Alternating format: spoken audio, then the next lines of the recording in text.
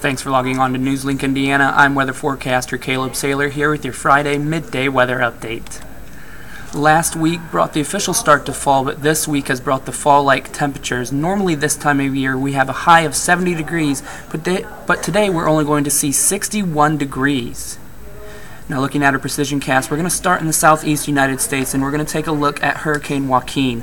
Now as Joaquin starts to make its way north, all of that precipitation that's been over the eastern seaboard is going to start to make its way west. Now as it make it make its way west, it's going to intensify, but as it moves into Indiana, it starts to break up. However, Saturday afternoon, we're going to see a chance of some showers sometime around kickoff. But as we move into Saturday afternoon, evening, and into Sunday morning, we should see that rain clear up and those clouds start to break up. And as we do, we should see little peeks of sun here and there.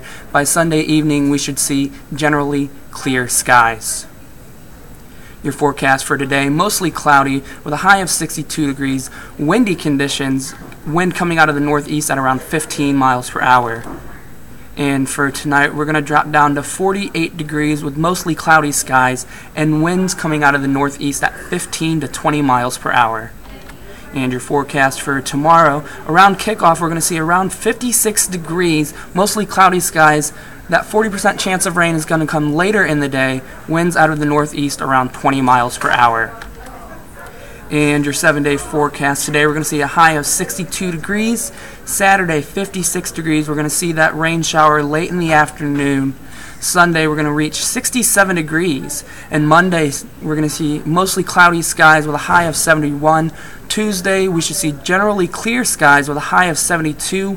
Wednesday we'll reach a high of 73. And Thursday we're going to see mostly cloudy skies with a high around 75. Make sure to give us a follow on Twitter at NLI Weather.